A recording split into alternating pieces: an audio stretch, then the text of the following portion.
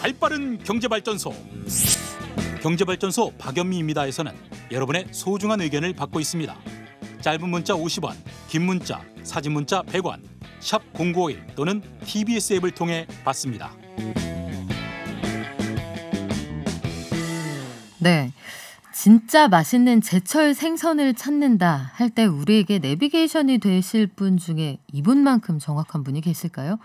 어류 칼럼니스트라고 부르기에는 어족 자원에 대한 그분의 깊이가 너무 깊습니다. 입질의 추억님, 김지민 대표님 나오셨습니다. 안녕하세요. 예, 안녕하세요. 네, 아, 김 대표님 만나뵈서 영광입니다. 네, 네, 저도 영광입니다. 일단 우리 김 대표님 모셨으니까요. 이거부터 여쭤볼게요. 이게 정말 제가 갈고 닦아서 가져온 질문인데 요즘엔 어떤 생선이 제일 맛있습니까? 일단 횟감으로 치면은 네. 참돔. 참돔. 그리고 보리숭어가 지금 철입니다. 아. 그리고 구이는 가자미. 가자미가 제일 맛있을 때고 금태가 또 가장 맛있을 때고요. 갑각류로 넘어가면은 이제 꽃게, 암꽃게가 철이죠. 그리고 대게하고 홍게가 살이 좋을 때입니다. 아, 대게가 되게 맛있을 때군요. 네. 아침에 다들 공복인 저희 스탭들 지금 다 공복인데요. 제가 이런 생각을 해봤어요. 왜 그 밥도둑 중에는 해산물이 유독 이렇게 많을까? 음. 고기 보고 밥도둑이라고 안 하거든요. 예. 해산물이 유독 맛있어서 그런 거예요? 아니면 해산물이 우리 식탁에 익숙해서 그런 거예요? 익숙한 것도 있는데 고기가 지방이 많잖아요. 아무래도 먹다 보면은 좀 물리는 것도 있고 느끼하고 해서 많이 못 먹는데 이상하게 저도 회나 다른 해산물은 좀 신선한 맛을 먹다 보니까 많이 들어가는 그런 게 있더라고요. 그렇군요.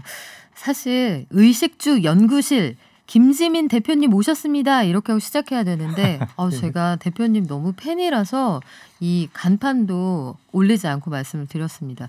이 한우물을 파서 제대로 성공하고 그 분야의 최고라는 자리에 올라갔을 때 우리가 이걸 보통 시쳇말로 성덕이다, 성공한 덕후다 이런 말 하거든요.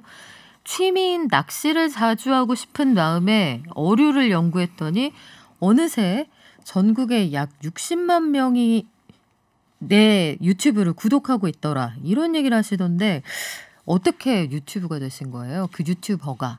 음, 원래 주변에서 지금 시대에 좀 편승해서 유튜브를 제작해야 되지 않겠냐라는 조언이 많았는데 그때마다 제가 한 귀로 흘러들었어요. 왜냐하면 저는 글을 쓰는 사람이고 영상을 찍을 줄도 모르고 편집도 도통 모르는데 어떻게 제가 맨바닥에서 이렇게 갑자기 영상을 찍을 수 있겠냐? 네. 예, 글쟁이로 남자 그렇게 버티다가 사람들이 점점 글을 잘 안 읽는 그런 느낌이 좀 들고 아, 예. 나 되게 열심히 썼는데 그리고 또 블로그나 기존 칼럼도 지금도 꾸준히 하고 있지만 네. 아무래도 10년 전에 비하면 insight가 좀 줄어든 건 사실이에요. 그래서 유튜브로 영상을 제작하면 좀 더 제가 시청자분들한테 전달할 수 있는 내용을 좀 과감 없이 전달할 수 있다.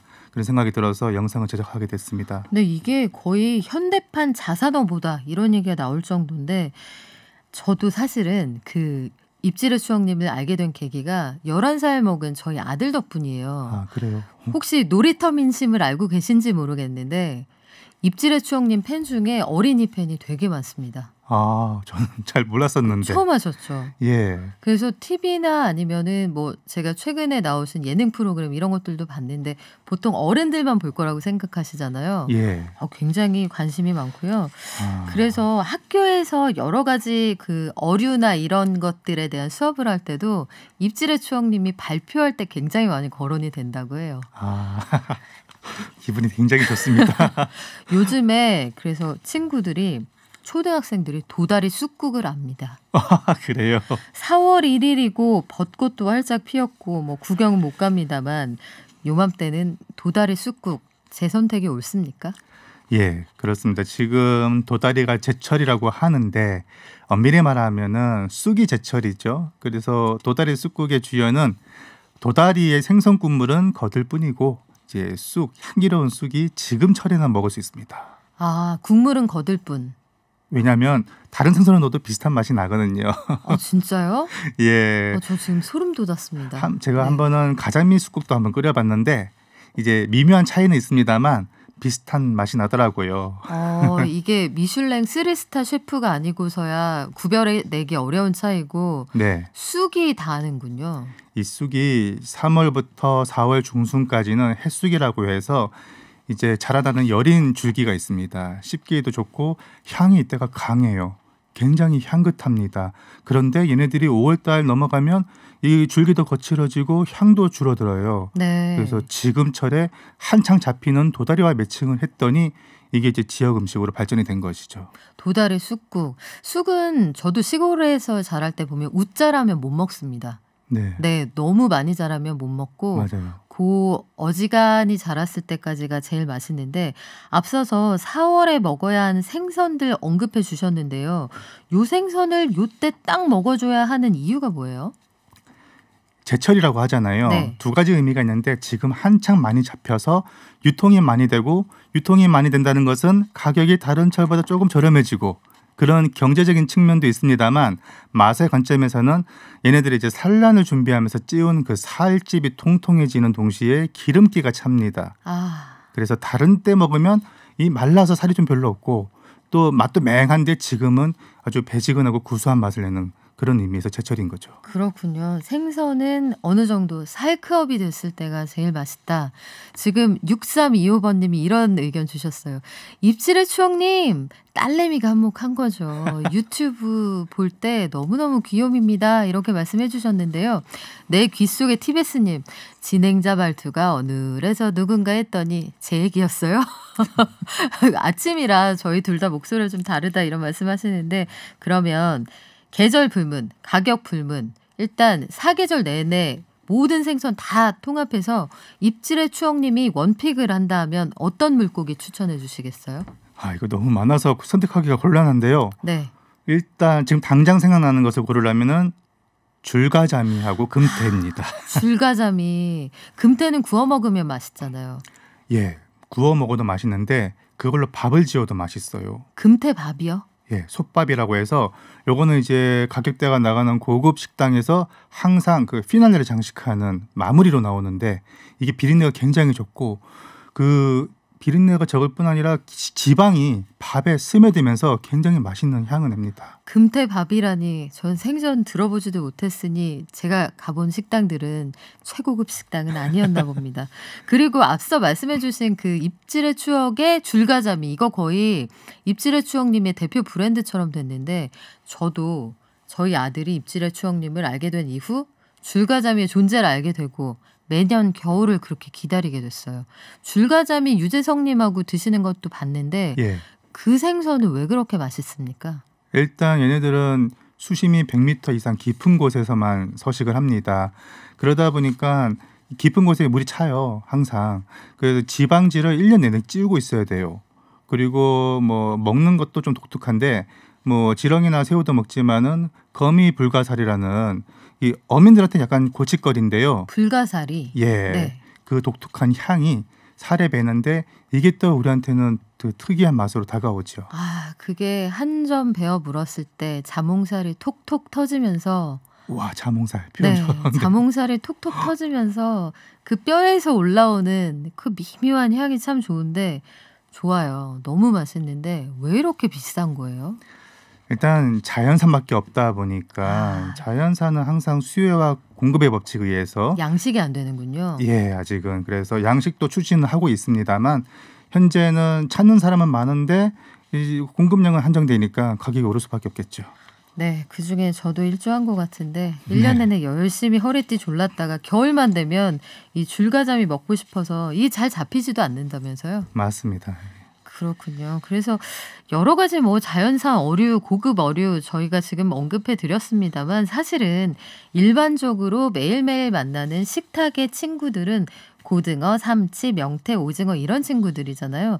이런 종류의 수산물, 우리 항상 친구처럼 만나는 수산물은 뭐 어떻게 사는 게 제일 현명한가요? 일단 우리 주변엔 재래시장도 있고 네. 대형마트도 있는데 요새 대형마트들은 수산물 가지고 올 때 그 품질 관리 자체적으로 이제 엄격하게 하고 있어요. 네. 그래서 뭐 일정 품질은 보증이 되니까 편하게 마트에서 구입을 하시고 나는 조금 더 대량으로 구매하고 싶다. 혹은 산지로 직송받아서 좀 더 싱싱한 것을 받고 싶다 하시는 분들은 요즘에 온라인 카페나 직배송 많이 받을 수 있으니까 그것도 하나의 방법이 되겠습니다. 그렇군요. 근데 저는 오징어의 변심이 요즘에 제일 섭섭해요. 저 어렸을 때만 해도 반찬 없다 하면 엄마가 무조건 오징어국 끓이시거든요. 오징어 큰 거 한 마리 한 3천 원에 사오시면 한 대접 끓여서 이거 오늘 먹고 내일 먹고 또 남으면 다음날 아침까지 먹기도 했는데 국민 생선 오징어 이 국적도 바뀌고 몸값도 바뀌고 있다. 이건 무슨 얘기죠? 예, 지금 이 문제는 비단 오징어뿐 아니라 명태나 참조기도 비슷한 문제에 직면했는데요. 세 가지 원인입니다. 뭐든지 이제 한 가지 원인으로 되는 것이 아니라 복합적입니다. 첫 번째는 이제 지구 온난화, 그래서 해수온이 상승하고 해류도 바뀌다 보니 어장이 조금씩 변화하고 있습니다. 잡히는 계절도 달라지고요. 잡히는 어장도 평소와 다르고 두 번째는 중국 배의 대량 남획 음. 이것도 무시 못하고 세 번째는 여기 이제 엎친 데 덮친 격으로 이 치어 또는 무분별하게 남획을 하는 이런 우리나라의 불법 조업이나 네. 예, 일부지만은 그런 것들이 좀 적절하게 지금 작용이 되지 않았나. 그러면 환경은 나빠지는데 애기 물고기들까지 싹 잡아버리니까 일단 공급도 안 되고 수요는 그대로 존재하니 몸값이 올라갈 수밖에 없는 거군요. 실제로 이 오징어 어획량이 급감한 시기가 2016년 그리 오래되지 않았어요. 이때가 이제 총알 오징어라고 어린 오징어죠. 네. 많이 유통이 됐던 시절이었고요. 그때부터 지금까지 어획량이 10년 전과 비교하면 말도 못할 정도로 줄었는데 이 시대에 이 시기에 이제 다른 수입산 오징어가 많이 늘 수밖에 없었던 거죠. 그렇군요. 오징어 볶음, 오징어국 이거 참 만만하게 끓여 먹던 좋은 반찬이었는데 회로 한번 넘어가 보겠습니다. 모처럼 이제 그 집에 좋은 일 있거나 아니면은 가족들끼리 소주 한 잔 마신다 할 때 회처럼 좋은 안주가 없는데 요거 좀 푸짐하게 저렴하게 먹고 싶다 할 때 수산물 도매시장 가시잖아요. 네. 보통 뭐 서울 분들은 노량진으로 가실 텐데 시장에 들어서면은 왠지 한없이 작아집니다. 이모 얼마까지 보고 왔어? 이런 분들이 다가오시거든요. 예. 요즘에는 이제 많이 줄어들기는 했는데 네. 그리고 가서 물어보질 못하겠어요. 물어보고 안 사면은 마음이 되게 무거워서 요 수산물 도매 시장에서 속상하지 않게 쇼핑하는 법 팁이 있을까요? 일단 시장에서 가장 안 좋은 유형은 내가 무엇을 먹어야 할지 모르는 상태로 온다는 것. 그래서 상인으로부터 추천을 받으려고 하는데 물론 좋은 상인을 만나면은 네. 추천을 좋게 받겠지만 그러지 못할 경우는 이제 당장 이제 물고기가 막 죽어나가는 수조가 있어요. 그러면은 이제 살아 있지만 숨이 이제 껌뻑껌뻑 넘어가는 그 재고부터 빨리 처리하고 싶지 않겠어요. 그렇죠. 임종 직전에 있는 친구들부터 보내고 싶겠죠. 네. 예, 그래서 내가 먹고 싶은 그 종목과 항목과 그리고 양을 확실하게 정하고 가시는 것을 권합니다. 아 회를 먹을 때도 뚜렷한 목적성을 가지고 그렇죠. 오늘은 돔이다 이렇게. 그렇죠. 예를 들면은 요즘 뭐가 제일 맛있어요? 뭐 보다는 광어 3kg 얼마 합니까? 이렇게 구체적으로 제시를 해주고 네. 그걸 가지고 흥정을 하는데 선택과 집중을 하는 거죠. 아 그러면 상인이 다른 말 못하게 이제 이제 뭔가 좀 다르네요. 저 그 하지 말라고 하신 걸 제가 다 하고 있거든요. 요즘 뭐가 맛있어요? 추천해 주세요. 그거 제가 다 하고 있는데 목적성을 가지고 도미 3kg 시세를 물어보면 되는군요. 요새는 또 어, 수산시장 관련 어플도 나와 있어서 네. 조금만 검색하면 시세가 웬만큼 나와 있어요. 그래서 시세를 그래도 내가 먹을 항목에 대해서만 좀 알고 가신다면 이게 지금 시세를 기준으로 했을 때 싸게 부르는지 좀 네. 비싸게 부르는지 기준이 설 수가 있습니다. 그렇군요. 3kg 아까 얘기해 주셨는데 보통 요즘 1인 가구도 많고 뭐 3인 미만 가구가 많은데 3인 미만 가구는 몇 킬로 기준으로 세우고 가면 되는 거예요?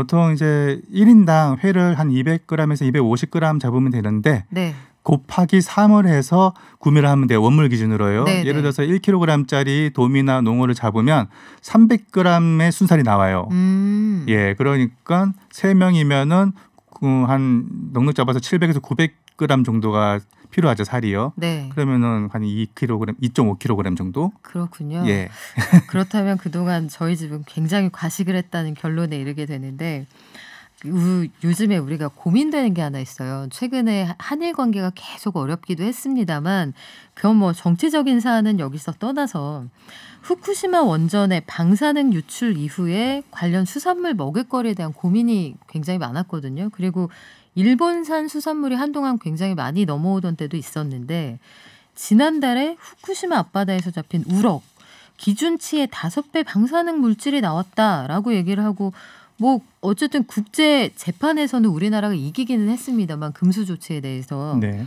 일본은 계속 우리 아- 수산물 괜찮다 사가라 이렇게 얘기를 하거든요.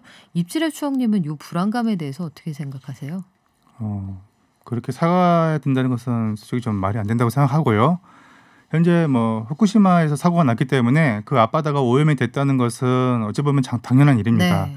어, 특히 이제 저서성 생물이죠. 세슘 같은 경우는 침전되는 성질이 있기 때문에 뭐 이렇게 고등어나 참치처럼 먼 거리를 회유하는 어종보다는 그 일대에 일년 내내 상주하고 있는 뭐 가자미라든지 조개, 멍게 그 밑바닥에 사는 저서성 생물들, 문어도 있겠고요.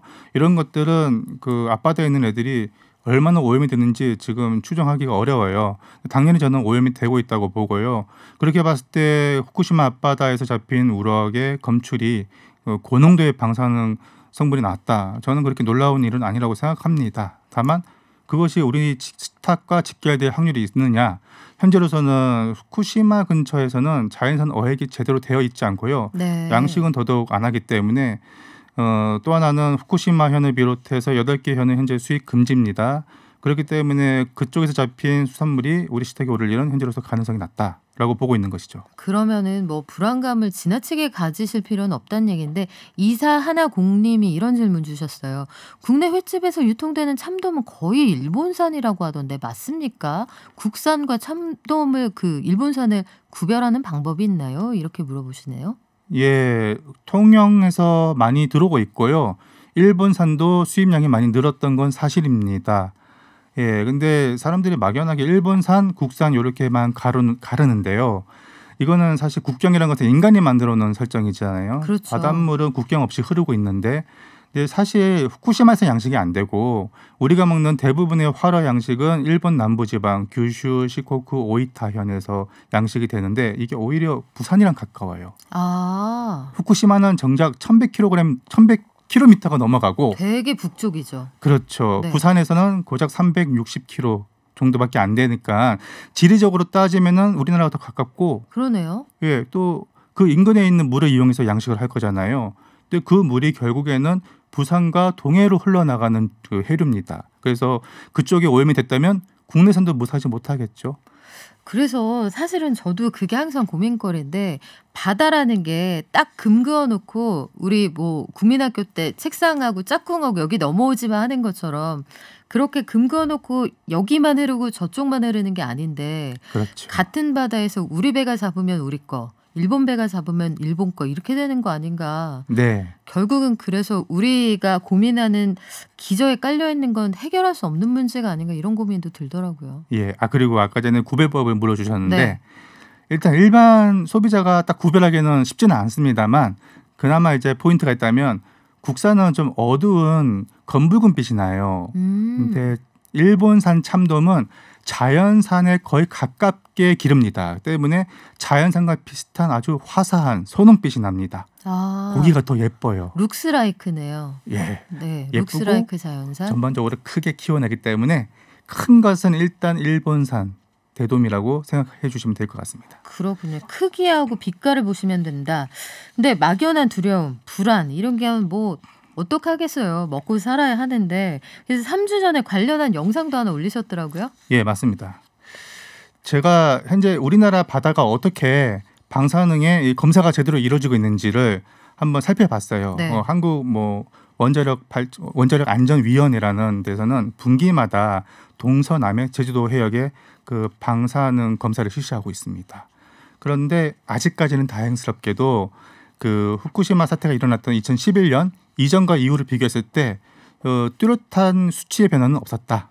현재까지는 그렇습니다. 그렇군요. 그러면 우리 좀 그 막연한 불안감을 조금 내려놔도 되는 거예요. 아직까지는요. 아직까지는 예. 그리고 뭔가 큰 어떤 우리가 발견할 수 있는 새로운 사실이 나오기 전까지는 근데 이게 가공식품 원산지는 또 고민된 부분이 있어요. 일본산 사료를 가지고 러시아 명태들이 밥을 먹는다. 그러니까 러시아 명태 식탁에 일본산 사료가 올라가는 게 맞습니까? 아니요, 그거는 사실이 아닙니다. 그건 사실이 아니에요. 예, 우리가 먹는 명태 대부분이 러시아산인데요.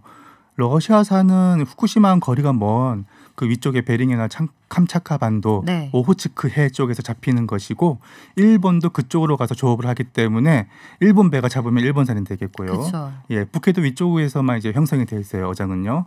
근데 제가 말씀드린 사료는 그 사료가 아니라 일본의 화라 양식지가 있습니다. 네. 예, 후쿠시마하고는 거리가 멀고 무관하지만 이제 과거에 후쿠시마 앞바다에서 잡힌 뭐 정어리나 까라리에서 밀항이지만 세슘이 검출된 적이 있었어요.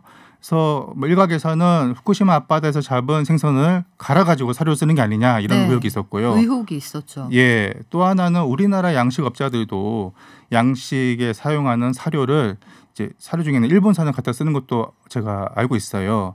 이런 일본에서 들어온 사료가 어, 방사능 검사 제대로 실시하고 들어오는지 음. 이게 좀 저는 이제 궁금하다는 거죠. 그거는 정부에서 들여다봐야 할 부분인 것 같은데 안 그래도 지금 0890님이 일본산 해산물 일부가 부산 통관할 때 검사가 생략된다는 얘기가 있습니다. 이 주장하시는데 요거는 확실한 사실은 아니라서 저희가 기정사실로 말씀드릴 수는 없지만 통관 과정에 이런 검사가 강화됐으면 좋겠다 이런 의견을 말씀드릴 수 있을 것 같고요. 마지막으로 앞으로의 계획도 궁금해요 라고 마지막 질문 써 있는데 전 요거보다 더 궁금한 게 가장 최근에 올리신 그 영상은 왜 티본 스테이크였죠? 왜죠? 수산물 전문 유튜버인데 왜 티본 스테이크를 올리시는 거죠? 예, 아 저도 어떻게 수산물만 먹고 살겠습니까? 아, 한 번씩은. 아니 저는 물고기만 드시는 줄 알았어요. 네. 예, 근데 실제로는 네. 일주일에 두 번씩 영상을 올리면서 네. 수산물은 안 그래도 이제 먹게 되니까 저희 가족이 외식을 할 때는 항상 육고기를 합니다. 네, 지금까지 스테이크를 좋아하시는 우리 먹을거리에 대한 고민, 궁금증 시원하게 해결해 주신 입질의 추억님 김지민 대표님이었습니다. 너무 반갑고요. 고맙습니다. 예, 감사합니다.